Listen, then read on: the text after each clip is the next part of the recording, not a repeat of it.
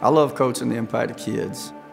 It means a lot to know that there's coaches out there that are doing it the right way and the way the game should be played.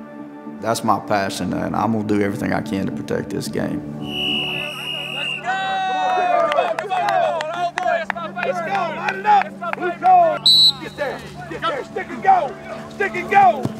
Oh. The InSite tool has been very good to us. I think it's easy to use and it's very user friendly, and we're just excited to have it.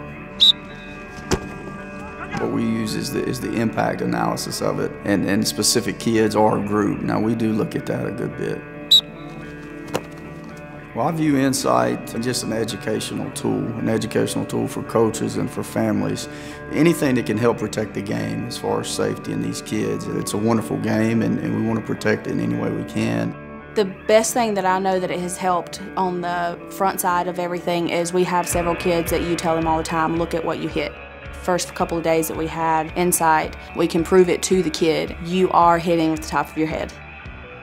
InSite helps me do my job so that the communication is better between me and the kids, me and the parents, community, and me and the coaches. For InSite to be able to be affordable and be able to be put in helmets for high schools says a lot, in my opinion, of where we're looking to go in the future with football. It's going to help everyone, regardless of level. Monday, Monday, go. Got it. We want our kids to be safe.